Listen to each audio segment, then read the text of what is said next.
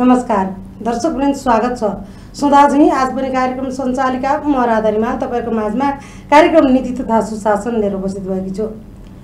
दर्शक वृन्द यहाँहरूलाई अवगति छ मैले कार्यक्रम नीति तथा सुशासनमा तिनै तहमा भएर गरेका सरकारका गतिविधिहरू जस्ताको तस्तै प्रस्तुत गर्ने गरेकी छु।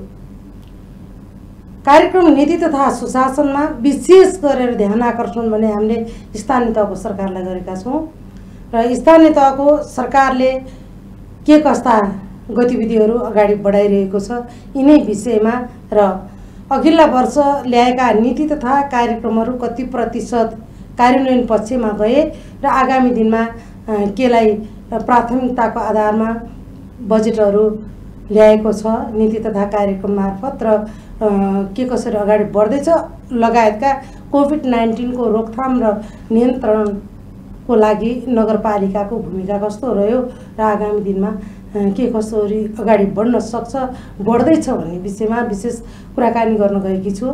आजको हामीसँग कुराकानीमा हुनुहुन्छ बुढानीले कण्ठ नगरपालिकाका नगर प्रवक्ता नवराज भट्टराईज्यू।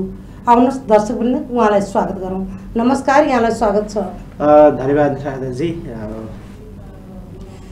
आराम हुनुहुन्छ? ठिकै छ हजुर। पछिल्लो अवस्था विशेष गरेर बुढानीले कण्ठ नगरपालिकाका नागरिकहरूको स्वास्थ्य स्थिति कस्तो छ र कोभिड नाइन्टिनको रोकथाम र नियन्त्रणमा के कस्ता भूमिकाहरू निर्वाह गर्नुभयो अबको स्थिति अबको दिनहरूमा कसरी अगाडि बढ्ने कुराहरू सोचिरहनु भएको छ के जानकारी गराइदिनु होला? नेपाल सरकारले चैत एघार गते मुलुकमा कोभिड नाइन्टिनको सङ्क्रमणको अवस्थालाई हेरेर लकडाउन गर्यो। त्यो लकडाउन पश्चात ब्राह्मीगञ्ज नगरपालिका लगायत देशका सात सय त्रिपन्नवटा स्थानीय तहहरू लकडाउन सँगसँगै कोरोना कोभिड नाइन्टिनको सङ्क्रमणबाट कसरी नागरिकलाई टाढा राख्न सकिन्छ भन्ने कुराको प्रिकर्सनमै धेरै समय बितायौँ। सुरुवातका दिनहरूमा हामीले डिसइन्फेक्ट गर्ने कार्यक्रमदेखि लिएर ठाउँ ठाउँमा चाहिँ हात धुने सामग्रीहरू प्रोभाइड गर्नेदेखि लिएर अनि पछिल्लो समय नागरिकलाई चाहिँ सचेतनाका लागि चाहिँ घर घरमा पर्चा पम्पलेट र अवेरनेसको कार्यक्रमहरू सुरुवाती दिनमा हामीले सुरुवात गरेका थियौँ। त्यस पछाडि नेपाल सरकारले जसको सङ्कटको अवस्थामा कोभिड नाइन्टिनको लकडाउनको कारणले गर्दाखेरि जसको रोजगारी गुमेको छ जसको खानाका लागि खाना खाद्यान्न सामग्री छैन त्यस्तो विपन्न र असङ्गठित क्षेत्रमा काम गर्नेहरूका लागि चाहिँ राहत प्याकेजको घोषणा गर्यो त्यो राहतलाई स्थानीय सरकार स्थानीय सरकारले नै व्यवस्थापन गर्ने जिम्मा केन्द्र सरकारले स्थानीय सरकारलाई दियो। र हामी कहाँ त्यति धेरै सात सय त्रिपन्नवटा स्थानीय तहमा पनि समस्या भनेको कसको क्रय शक्ति अथवा कसको क्षमता कस्तो खालको? को नागरिक विपन्न को नागरिक सम्पन्न भन्ने खालको मेकानिजम अहिलेसम्म बन्न सकेको छैन। जस कारणले हाम्रो अधिकांश समय चाहिँ त्यस्तो खालका विपन्न नागरिकहरू को हुनुहुन्छ? उहाँहरूको खोजी गर्ने क्रममा चल्यो। र त्यसबिचमा त्यो राहत प्याकेजलाई पनि जो अत्यन्त निम्न वर्गको छ जसको लागि चाहिँ दैनिक ज्याला मजदुरी गरेर खाने वर्ग छ ती वर्गलाई चाहिँ राहत दिने कार्यक्रममा हाम्रो विशेष फोकस रह्यो र हामी बुढानीगढ नगरपालिकाले करिब एघार हजार सात सय अठहत्तर परिवारलाई त्यतिखेर तत्कालीन अवस्था बुढानीगढ नगरपालिकाको आफ्नै खर्चमा एघार हजार सात सय अठहत्तर परिवारलाई राहत वितरण गर्यो। करिब एक करोड छयत्तर लाख बजेटमा एक करोड सडसठी लाख बजेटमा चाहिँ त्यो राहत एघार हजार सात सय अठहत्तर परिवारलाई गरियो। र त्यो पछाडि फेरि लकडाउन हामीले देख्न सक्छौँ लकडाउन खुलेको छ। र आज फेरि जटिल अवस्थामा आइसकेका छौँ। उपत्यकामै करिब सात सयको हाराहारीमा सात सय प्लस को हाराहारीमा सङ्क्रमणको अवस्था छ। बुढानीगढ नगरपालिकामा आजको डेटमा हेर्ने भने करिब नौजनामा सङ्क्रमित देखिएको अवस्था छ। त्यस कारणले गर्दाखेरि यो फेरि हामी यतिखेर चाहिँ जोड जोडतोडका साथ विभिन्न सामाजिक सञ्जाल र आम सञ्चारका माध्यमहरूमा पनि अब पुनः लकडाउन गर्ने हो कि? होइन? अब सङ्क्रमण यो अवस्था यो हाम्रो हातबाट चाहिँ अहिलेसम्म हाम्रो नियन्त्रणमा छ भन्ने कुरा चाहिँ हामीले यो हाम्रो भोलि हाम्रो नियन्त्रणभन्दा बाहिर जाने हो कि? त्यसका लागि चाहिँ विशेष सुरक्षा अप्नाउनुपर्छ। भन्ने खालका कुराहरू उठिरहेको सन्दर्भमा अब हामीले फेरि पनि नागरिकलाई सचेत गर्ने नागरिकलाई अवेर गर्ने कार्यक्रमहरू र भिडभाडलाई अभोइड गर्ने खालका कार्यक्रमहरू आजसम्म पनि स्कुलहरूलाई सञ्चालन गर्न दिइरहेको छैन। नेपाल यद्यपि नेपाल सरकारले पनि त्यही नीति नियम छ र केही अगाडिदेखिको सार्वजनिक साधन सार्वजनिक साधनको प्रयोग पनि धेरै व्यक्तित्वहरूले प्रयोग गर्न थालिसकेको छन्। अहिले पनि फेरि चेतना चेतना स्तर अलिकति नागरिकको चेतना स्तर उठ्दो क्रममा छ भन्ने कुरा देखिएको छ। कसरी भने सार्वजनिक यातायात सुचारु भए तापनि सार्वजनिक यातायात चाहिँ सहजै नागरिकले प्रयोग गरिरहेको देखिँदैन। किनभने नागरिकलाई पनि एक लेभलको सचेतना मास्ककै प्रयोगको कुरा सेनिटाइजरको प्रयोगको कुराहरू भिडभाडमा नजाने अनि धेरै हाम्रो घरको हाम्रो रीतिरिवाज बिहा पार्टी भोजहरू पनि सीमित व्यक्ति दस पन्ध्रजनामा सीमित राख्ने त्यो खालको कल्चर चाहिँ अलिक डेभलप हुने गरी। अब बिस्तारै एकैचोटि अब हाम्रो मिटिङहरू हाम्रो विभिन्न चाहिँ वार्षिक साधारण सभाहरू पनि अहिले पोस्टपोन भइरहेको। विभिन्न कार्यक्रमहरू पनि पोस्टपोन भइरहेको यसले गर्दाखेरि चाहिँ सामाजिक गतिविधि चाहिँ प्रायः शून्य जस्तो देखिन्छ। तर इसेन्सियल एकदमै आवश्यक भएको कार्यक्रमहरू गर्न त छाडिएको छैन। र अहिलेलाई अब तुरुन्तै हामी ब्याक टु द अस्ति back to the normal life जस्तो पनि सोचेँ। त्यस कारणले पनि आज उपत्यकामा चाहिँ दिनानुदिन उपत्यका बाहिरबाट व्यक्ति विभिन्न व्यक्तिहरू उपत्यका बाहिरबाट आइरहनु भएको छ। उहाँमा सङ्क्रमण देखिएको छ। नयाँ नयाँ व्यक्ति अहिले अझ समुदायमै सङ्क्रमणको अवस्था पुगिसकेको भन्ने कुराको आकलन गरिएको छ। त्यस कारणले गर्दाखेरि अब हिजोको भन्दा अझै असहज अवस्था आउने अवस्था छ। हिजोको भन्दा अझै अप्ठ्यारो अवस्था आउने अवस्था छ। त्यस कारणले गर्दाखेरि लकडाउन होला नहोला तर पनि हामी आफै पनि लकडाउन भए जस्तो। अत्यावश्यक काम बाहेक घरबाट बाहिर ननिस्किने भिडभाडमा नजाने अनि भिडभाडको पसलहरू जहाँ हाम्रो खाद्य सामग्री तरकारी पसलहरू जहाँ भिडभाड धेरै हुने गर्छ ती ठाउँहरूमा चाहिँ एकदम भिडभाड कम गरे र फेरि पनि सरकार सरकार सरकार सबै कुरा सरकारमुखी हुनुभन्दा पनि नागरिकले आफ्नो पाटोबाट आफूले गर्नुपर्ने कुरा न्यूनतम कुराहरू गरिदिने र आफूले न्यूनतम सुरक्षाको मापदण्ड अप्नाइदियो भने पनि यो सङ्क्रमणबाट चाहिँ बच्न सकिन्छ। हाम्रो बुझाइ। यहाँहरूको आकलन सही पनि हुनसक्छ। यति बेला म यसलाई अझै जोड्न चाहन्छु लकडाउन नै प्रमुख समस्याको समाधान हो र कोभिड नाइन्टिनको रोकथाम र नियन्त्रणको लागि। अहिले चाहिँ हामीले ब्याक टु द तिन चैत एघार गते पछाडि असार पन्ध्रको पिरियडमा आएर हेर्दाखेरि असार पन्ध्रसम्मको समयलाई आएर हेर्दाखेरि त्यो लकडाउन हामीले कतिपय कुराहरू उठेका पनि छन् कतिपय जिज्ञासाका विषय पनि बनेको छ कतिपय आम नागरिकले उठाउनु भएको विषय पनि छ। हिजो हामी उनासी ससी असी सय दुई सय पाँच सय हजारको हाराहारीमा पुग्दा चाहिँ लकडाउन गर्ने आज हामी बिसौँ हजारको अवस्थामा पुग्दा चाहिँ लकडाउन पनि छैन सिल पनि छैन। यसले गर्दा चाहिँ यसले गर्दाखेरि चाहिँ हिजोको लकडाउनको औचित्य के औचित्य पुष्टि गर्नलाई चाहिँ घचघचाइरहेको भान हुन्छ। तर यद्यपि लकडाउन हामीले आज पनि इन्टरनेसनल एयरपोर्टहरू लकडाउनमै छन्। इन्टरनेसनल अब डोमेस्टिक डोमेस्टिक एयरलाइन्सहरू पनि हामीले निर्वाध रूपमा सञ्चालन गरेका छैनौँ। यो इन्टरनेसनल एयरलाइन्सहरू पनि उयो चार्टर बाहेक हाम्रै नागरिकहरूलाई ल्याउने बाहेक अरूलाई खुल्ला गरेका छैनौँ।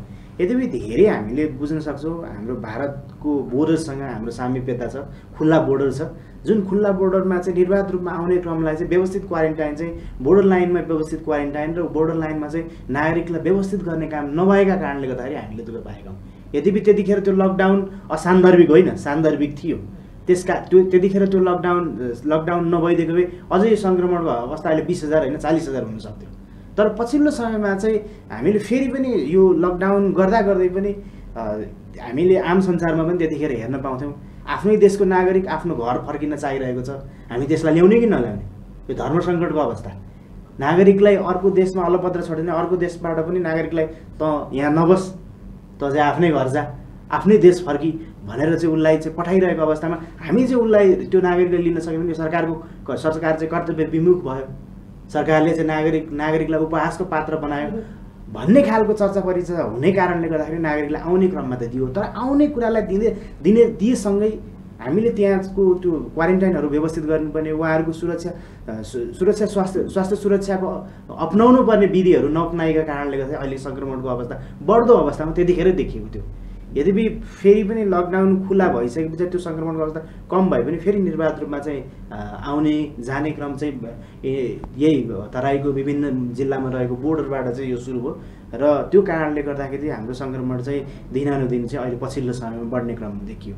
र लकडाउनै नगरेको निर्वाध रूपमा चाहिँ आज अमेरिकाको जस्तो चाहिँ अवस्था भइदिएको भए हाम्रो यो ठेकी नसक्ने अवस्था।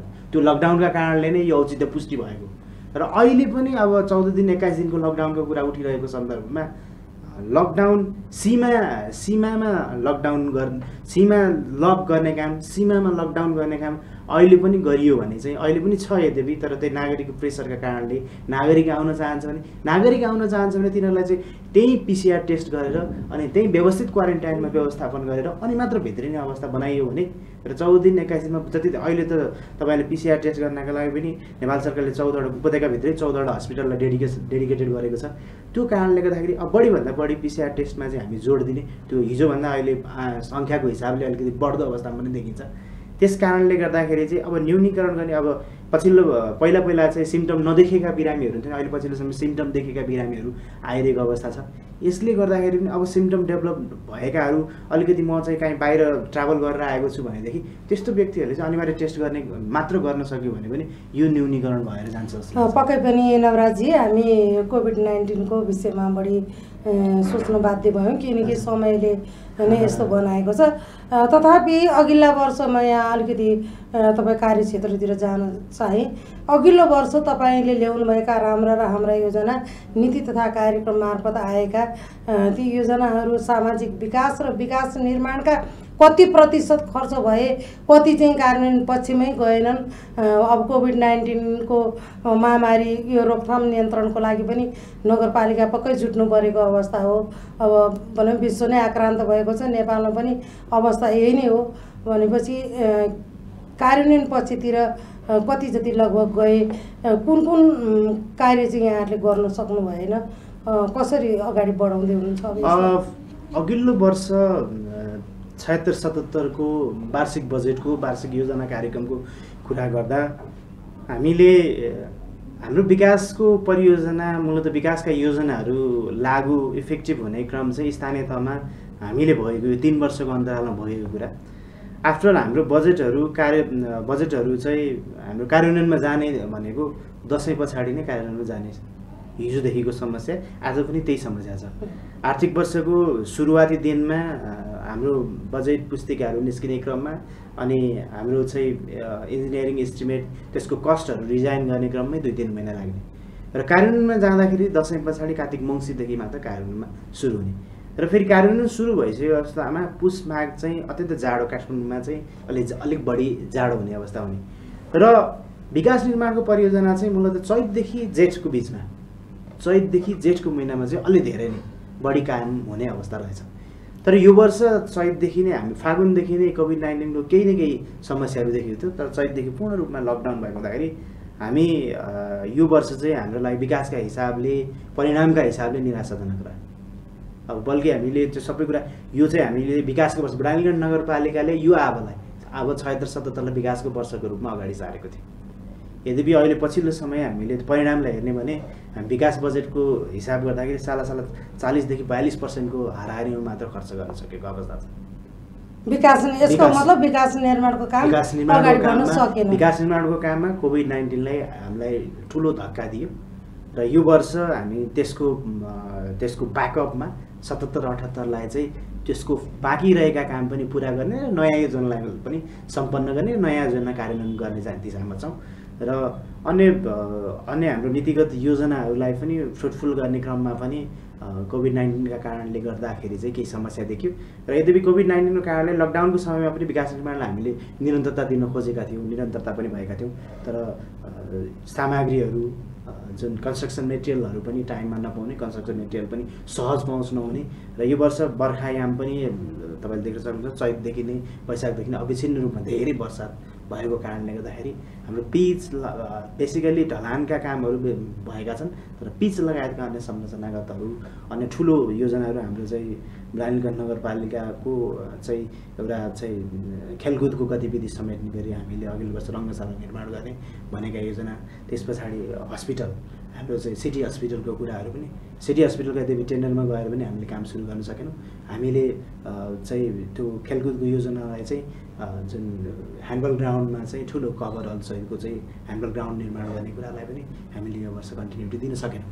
त्यो लगायत अन्य धेरै योजनाहरू जुन ठुला बाटाहरू जुन हाम्रो इनिसिएसनमा गरिने बाटाहरूको काम पनि हामीले अगाडि बढाउन सकेनौँ सामाजिक विकासका कामहरू पनि सामाजिक। विकासमा पनि यो तपाईँले देख्न सक्नुहुन्छ स्वास्थ्यको गतिविधिमा अलि धेरै कोभिड नाइन्टिनसँग रिलेटेड गतिविधि गर्न सक्यौँ। शिक्षाको अवस्था देखिराख्नु भएको छ। शिक्षाको अवस्थामा पनि गतिविधि बढाउन सकिएन। सकियो यो वर्ष केलाई लक्षित गरेर बजेट ल्याउनु भयो? विशेष गरेर प्राथमिकताको आधारमा राख्दै फोकसिङ बजेट ल्याउनु भयो। अब कहिलेबाट कार्यान्वयन पक्षमा हाम्रो- लाँदै हुनुहुन्छ? के छ अवस्था? कति जतिको बजेट ल्याउनु भयो? हाम्रो यो आर्थिक वर्षको बजेट हामीले एक अर्ब उनासत्तरी करोडको आकलन गरेका छौँ।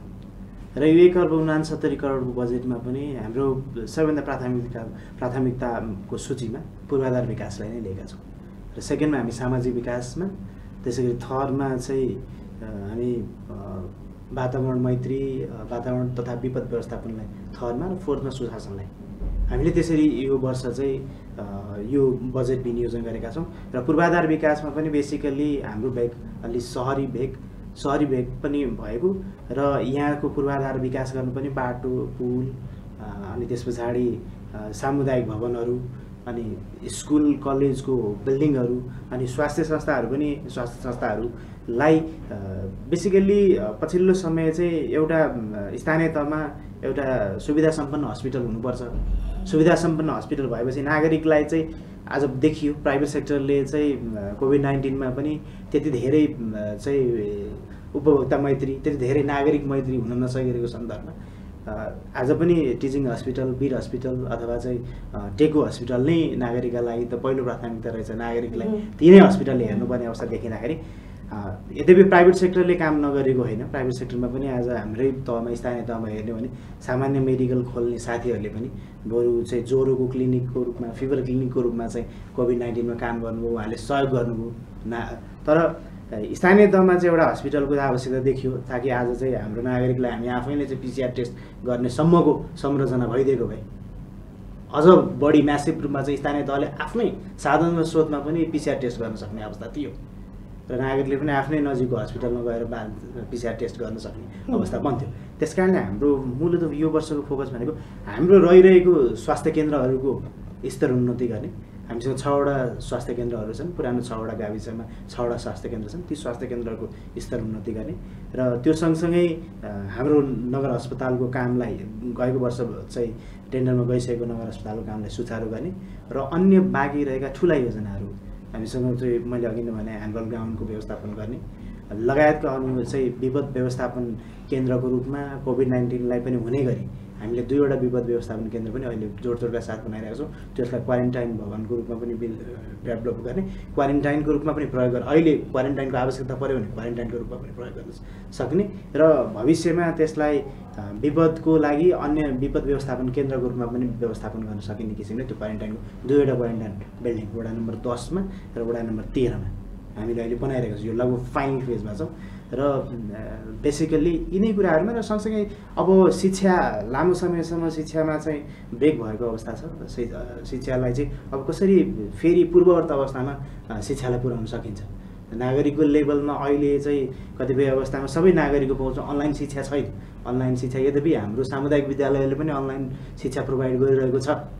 तथापि पनि ग्याजेटका कारणले गर्दाखेरि इन्टरनेटको कारणले गर्दाखेरि अथवा टेलिभिजनको कारणले गर्दाखेरि सबैको पहुँचमा नभइरहेको अवस्थामा अब त्यो सिकाइलाई सुचारू ढङ्गले कसरी दिन सकिन्छ त्यो सिकाइलाई यद्यपि अब तुरुन्तै स्कुल खोल्ने अवस्थामा भएन भने पनि त्यो सिकाइको मेटेरियल्सहरू नै चाहिँ क्ला त्यो सानो सानो भाइ बहिनीहरूलाई सिकाइको मेटेरियल्सहरू पनि घर घरमा प्रोभाइड गरेर सिका सिकाइलाई जीवन्त दिनका लागि चाहिँ फेसिलिटी गर्ने सम्मको शिक्षालाई पनि विशेष त्यो खालको योजनामा राखेको छौँ। अनि लक्षित वर्गको बजेटहरू जुन महिला लक्षित त्यसपछि जनजाति लक्षित अपाङ्ग लक्षित दलित लक्षित बजेटहरू छ त्यो बजेटहरू हिजो चाहिँ सिपमूलक कार्यक्रम बेसिकली सिपमूलक कार्यक्रमहरूमा खर्च गरिने गर्थ्यो।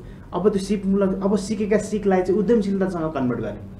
आज धेरै कुरा यो लकडाउन पछाडि दुईवटा कुरामा चाहिँ एकदमै धेरै नागरिकको विशेष फोकस के देखिन्छ भने कौशी तरकारी खेती र कृषिमा चाहिँ कृषि कर्म चाहिँ गर्नुपर्छ। यो देशभरि तपाईँ अहिले जहाँ गएर देख्न सक्नुहुन्छ र हाम्रो जस्तो चाहिँ अर्बान सिटीमा अर्बान एरियामा चाहिँ कौशी तरकारी खेतीको डिमान्ड छ। किनभने हामी कहाँ त जमिन त्यति धेरै छैन जसको भएका जमिनमा पनि घर ठडाइएको छ।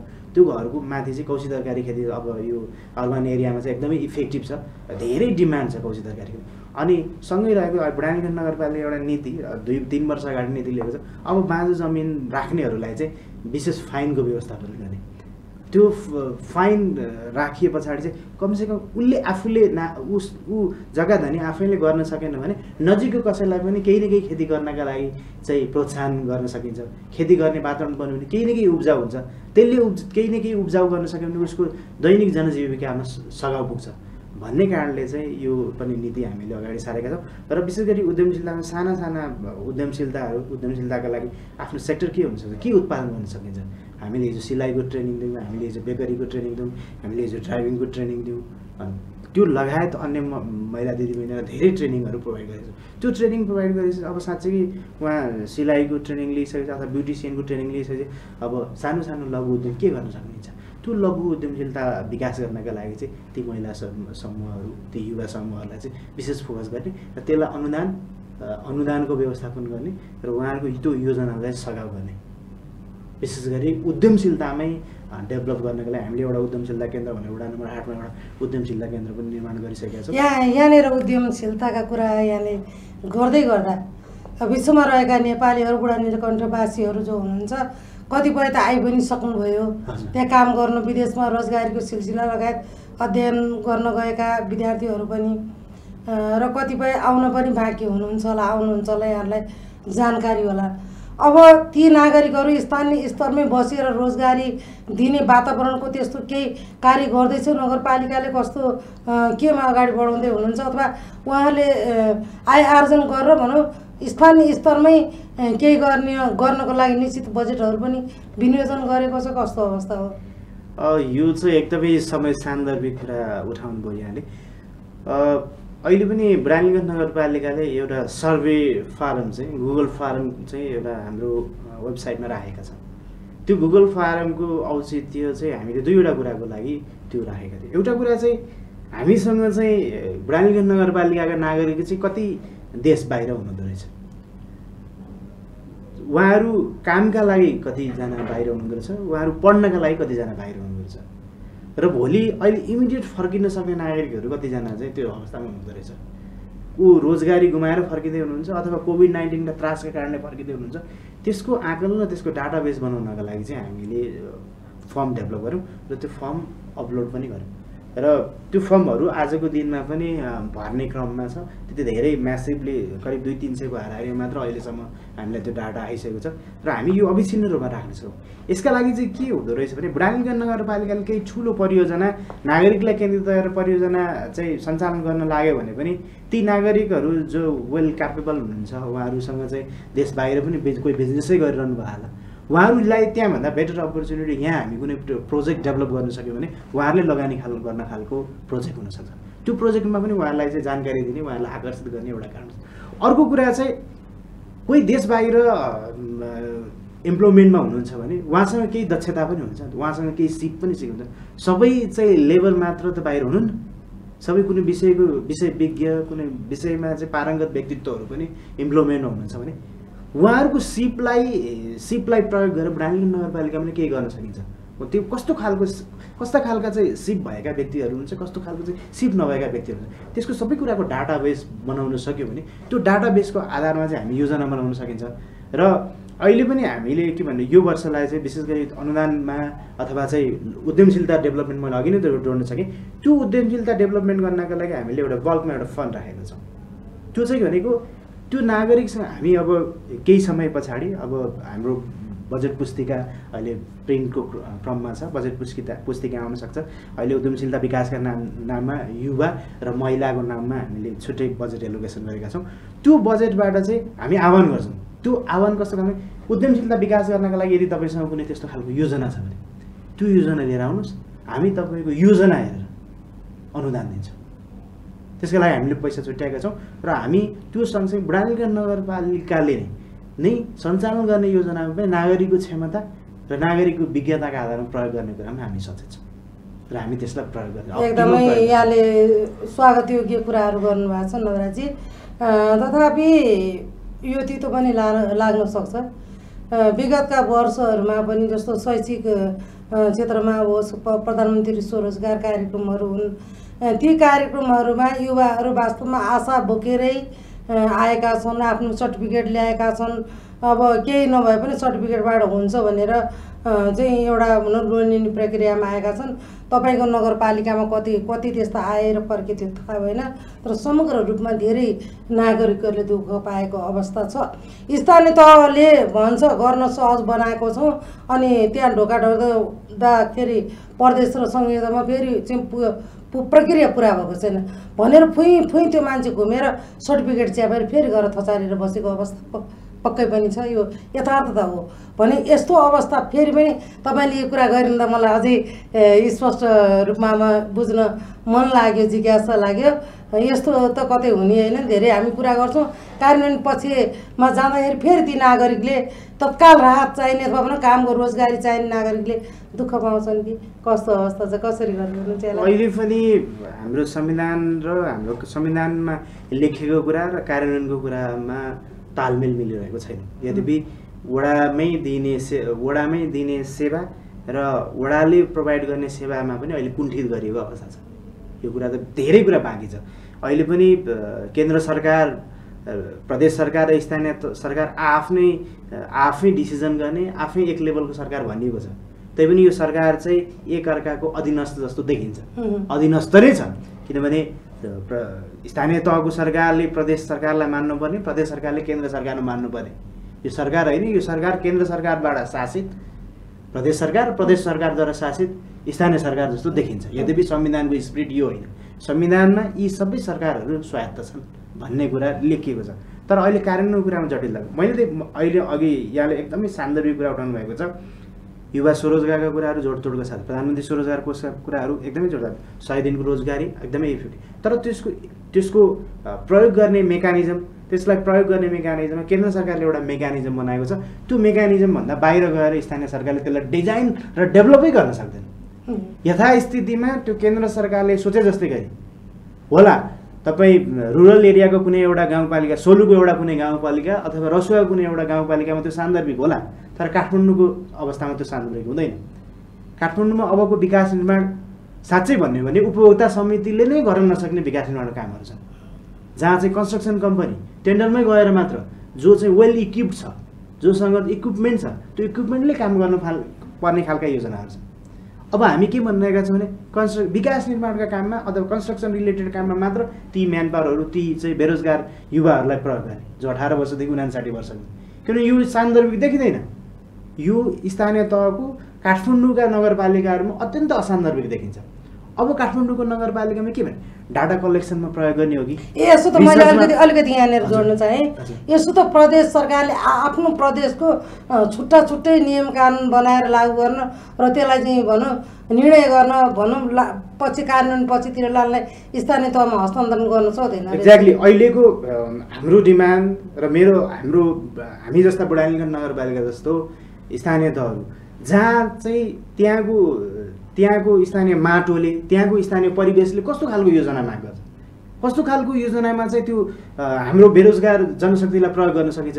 त्यो योजना निर्माण गर्ने क्रममा चाहिँ त्यो माथिको टिओआर होइन कि बल्कि त्यो टिओआर चाहिँ बुढानीगढ नगरपालिका आफैले बनाउन पाउनु पऱ्यो हाम्रा लागि आवश्यकताहरू के के हुन्छ? त्यो आवश्यकताको सूचीमा ठिक छ नागरिकलाई चाहिँ पैसै पैसा त्यत्तिकै कामै नलागिकन पैसा बाँड्ने कुरा होइन। त्यो कुरामा विमति हाम्रो पनि पैसा त्यत्तिकै बाँड भन्ने कुरामा विमति हो। तर त्यो उत्पादकत्व हुने काममा। त्यो उत्पाद अब त्यही उत्पाद त्यो युवा युवा हामी युवा स्वरोजगारको कुरा गरिराख्दाखेरि युवा स्वरोजगारका कुरा गरिराख्दाखेरि त्यो स्वरोजगारमूलक चाहिँ युवाले कुनै चाहिँ स्वरोजगारमूलक कार्यक्रम ल्यायो भने किन त्यसमा चाहिँ त्यो प्रयोग नगर्ने प्रधानमन्त्री स्वरोजगार कोषलाई किन त्यसमा प्रयोग गर्न सकिने? भने पछाडि चाहिँ यो अहिले त हजुरले अर्को कुरा पनि गर्नुभयो जुन चाहिँ सर्टिफिकेट धितोको कुरा सर्टिफिकेट धितोको पनि अहिले अन्यल छ सर्टिफिकेट धितोमा चाहिँ पैसा पाउने कुरा चाहिँ आम सञ्चारका माध्यममा चाहिँ सुनियो। तर कार्यान्वयनको पक्षमा आज त्यो स्थानीय तहमा स्थानीय तहलाई त्यो त्यसको रेस्पोन्सिबल रेस्पोन्सिबिलिटी दिएको छैन। जवाबदेहिता स्थानीय तहसँग त्यसको छैन। किनभने त्यहाँ आएर मलाई कुनै युवाले सोध्नुभयो भने अथवा कुनै नागरिकले सोध्नुभयो भने मसँग त्यसको एन्सर छैन। किनभने त्यो कार्यान्वयन गर्ने निकाय म होइन। तर साँच्चीकै हाम्रो संरचनालाई दरिलो बनाउने र साँच्चीकै हाम्रो संरचनालाई जवाफदेही बनाउने हो भने त्यसको पनि अधिकार स्थानीय तहलाई दिनुपर्छ।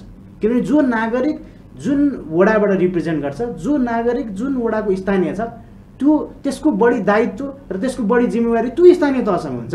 त्यो स्थानीय वडासँग हुन्छ। त्यस कारणले त्यो नागरिकको सबै कुरा त्यो नागरिकको भोलि चाहिँ त्यो अनुदान अथवा त्यो सर्टिफिकेट धितोमा दिने पैसा त फिर्ता गर्ने चिज हो नि। पैसा त उसलाई त त्यत्तिकै पैसा दिन लागेको होइन। त्यो पैसा त उसले कुनै उद्यमशीलता विकास गर्नका लागि कुनै आफ्नो काम गर्नका लागि फिर्ता दिने शर्तमा दिने कुरा हो भने त्यो स्थानीय त जहाँ उसको त्यहाँ घर छ जहाँ उसको चाहिँ त्यही त्यही बसोबास छ भनेदेखि अझै त्यो स्थान आज पनि नागरिक नागरिकता बनाउँदाखेरि चाहिँ स्थानीय तह चाहिने स्थानीय तहको सिफारिस चाहिने अन्य कुराहरूमा चाहिँ स्थानीय तहको सिफारिस चाहिने अनि नागरिकलाई चाहिँ धितोमा दिने लोन जुन सर्टिफिकेटको एगेन्स्टमा दिने लोनका लागि चाहिँ स्थानीय तह साँच्ची नचाहिँ स्थानीय तह चाहिँ रेस्पोन्सिबल नहुने भन्ने कुरा चाहिँ मिलेको छैन। यसमा बढीभन्दा बढी हाम्रो पनि माग त्यही हो स्थानीय तहलाई रेस्पोन्सिबल बनाउँछ चाहे प्रधानमन्त्री स्वरोजगारको कुरा होस् चाहे युवा युवा उद्यमशीलताका लागि दिने लोनको कुरा होस् सर्टिफिकेट लोनका कुरा होस् यो कुरामा चाहिँ स्थानीय तहलाई अधिकार दिनुपर्छ र स्थानीय तहले नै त्यसको मेकानिजमतिर सिफारिस गर्ने र ठिक छ त्यसको अनुगमन गर्न पाइयो। जुन हाम्रो चाहिँ युवा मन्त्रालय अन्तर्गत त्यो छ भने त्यो युवा मन्त्रालयले त्यसको कुरा हेरोस् त्यसमा केही प्रब्लम भएन। तर यो कुरामा चाहिँ स्थानीय तहलाई बढी रेस्पोन्सिबल बनाएर यसको आउटपुट पनि निस्किन्छ। किनभने त्यो स्थानीय तहमा चाहिँ त्यसले काम गरेको नगरेको त्यो नजिकको सरकार हो। उसले कहाँ के गरिरहेको छ भन्ने कुरा चाहिँ दिनानुदिन त्यसको चाहिँ अनुगमन पनि हुन्छ। र त्यो पैसा चाहिँ अपचलन हुने अवस्था पनि रहँदैन। र सजग पनि गराउन सक्छ। पक्कै पनि नवराजी अत्यन्तै महत्त्वपूर्ण यहाँका सान्दर्भिक भनाइहरू छन्। अमूल्य समय पनि दिनुभएको छ। हामी कार्यक्रमको अन्ततिर आइसकेका छौँ। छुट्टिने बेला भइसकेको छ। अन्तमा तपाईँका केही भनाइहरू छन्? आम नागरिक र सङ्घीय सरकार र प्रादेशिक सरकारलाई भने केही राखिदिनुहोस्। हामी छुट्टिन्छौँ। अहिले पनि फेरि हामी यतिखेर पनि कोभिड नाइन्टिनकै उच्च सङ्क्रमणको अवस्थामा छौँ। म सम्पूर्ण बुढानीगढ नगरपालिका नगरवासीहरूलाई म आग्रह गर्न चाहन्छु हामी पूर्ववर्त अवस्थामा फर्किने अवस्था छैन। हामी सङ्क्रमणकै अवस्थामा भएको हुँदाखेरि यहाँहरू सुरक्षा सचकता अप्नाउनका लागि म आग्रह गर्न चाहन्छु। यहाँहरू मास्क प्रयोग गरिदिनु होला यहाँहरू भिडभाडमा नगइदिनु होला। भिडभाड हुने विभिन्न कार्यक्रमहरू छन् भने ती कार्यक्रमहरूलाई अभोइड गर्नु होला। दैनिक रूपमा चाहिँ साबुन पानीले हात धुने र आफ्नो नानी बाबुहरूलाई पनि विशेष केयर गरिदिनु होला। उहाँलाई तुरुन्तै अहिले सपिङ मलहरू खुलेका छन् तुरुन्तै अन्यत्र घुम्ने ठाउँहरू पनि खुलेका छन्। ती घुम्ने ठाउँहरूमा पनि लिएर जाने अवस्था भएन। हामी दैनिक रूपमा चाहिँ कामकाजमा पनि गइरहेका छौँ। त्यो कामकाजमा जाने क्रममा पनि जोखिम छ। आज ब्याङ्कको कर्मचारीहरू आज अन्य सरकारी अड्डा अदालतहरूमा पनि सङ्क्रमणको अवस्था अत्यन्त देखिएको छ। त्यस कारणले गर्दाखेरि हामी भिडभाडमा नजाने अत्यन्त अत्यन्त आवश्यक काम बाहेक त्यो काम बाहेक घरबाट बाहिर ननिस्किनुको लागि म आग्रह गर्न चाहन्छु। र सङ्घ प्रदेश र स्थानीय सरकारले यो कोभिड नाइन्टिनलाई लक्षित गरेर विभिन्न कार्यक्रमहरू विभिन्न प्रिकर्सनका उपायहरू अप्नाइरहेको छ। त्यो अप्नाइरहँदा पनि सबैभन्दा ठुलो कुरा नागरिक आफै सचेत रहे मात्रै सुरक्षित रहन सक्छ सकिन्छ। त्यस कारणले सम्पूर्ण नागरिकहरूलाई आफूले आफ्ना लागि आफ्ना आफ्ना लागि अरू कसैले गरिँदैन आफैले गर्ने हो। त्यस कारणले यहाँले सुरक्षा सजगता अप्नाइदिनु हुन। र तिनै तहको सरकारले कोभिड नाइन्टिनमा एक अर्कासँग समन्वय गरेर काम गरिरहेको अवस्था छैन। त्यस कारणले यो तिनै तहको सरकारले सबै एकै ठाउँमा रहेर कोलाबोरेट गरेर त्यहाँको समस्यासँग सचेत रहेर र विशेष गरी यो नाकाहरूलाई व्यवस्थित गरेर अझै पनि लकडाउन नभए तापनि नाका सिल भएको अवस्था छ नाका बन्द भएको अवस्था छ। ती नाकाहरूमा विशेष सुरक्षा सजगता अप्नाइदियो भनेदेखि यो सङ्क्रमणको अवस्थाबाट अब यद्यपि आर्थिक हिसाबले हामीलाई धेरै समयसम्म यसले पिरोल्ने अवस्था देखिन्छ। तथापि पनि हाम्रो आफूलाई पर्सनल्ली चाहिँ आफ्नो स्वास्थ्यमा समस्या नआउनका लागि चाहिँ यो सुरक्षा सजगता अप्नाइदिनको लागि म सम्पूर्ण आम नागरिकलाई आग्रह गर्न चाहन्छु। र मेगा टेलिभिजन र राधाजीलाई पनि यो कार्यक्रम बोलाइदिनु भयो मेरो पनि आफ्नो धारणा बुढानीघाट नगरपालिकाको धारणा राख्ने अवसर प्रदान गरिदिनु भएकोमा धेरै धेरै धन्यवाद हस् धन्यवाद। दर्शक आजको लागि निर्धारित समय सकिएको छ। मात्र मेगा टेलिभिजनको प्रस्तुति कार्यक्रम नीति तथा सुशासन तपाईँहरूलाई कस्तो लागिरहेको छ? तपाईँको अमूल्य प्रतिक्रिया र सुझाव पनि दिन नभुल्नुहोला भन्दै कार्यक्रम सञ्चालिका म राधा रिमाल र आज हामीसँग कुराकानीमा हुनुहुन्थ्यो बुढानीलकण्ठ नगरपालिकाका नगर प्रवक्ता नवराज भट्टराईज्यू लगायतको टोली बिदा हुन्छ। जाँदा जाँदै तपाईँको अमूल्य प्रतिक्रिया र सुझावको हामीले अपेक्षा गरेका छौँ। कार्यक्रम नीति तथा सुशासनको मूल ध्येय भनेको स्थानीय तहको सरकारमा ध्यान आकर्षण र स्थानीय तहको सरकारमा भएर गरेका गतिविधिहरूलाई प्राथमिकता दिँदै हामीले जस्ताको तस्तै आम जनसमुदाय समक्ष ल्याउने जमर्को गरेका छौँ। बाँकी काम तपाईँहरूको तपाईँको गाउँ राम्रो गाउँ तपाईँको नगर राम्रो नगर एउटा समृद्धि र सुशासित नगर बनाउन तपाईँ हामी जनता जनार्दनहरू पनि आफ्नो ठाउँबाट आफ्नो तह अनि तब्काबाट लाग्नु र जाग्नु जरुरी छ भन्ने शुभ सन्देशका साथमा आज्ञा चाहन्छु। यहाँहरू पनि हेर्दै रहनुहोला मेगा टेलिभिजन हवस् त नमस्ते।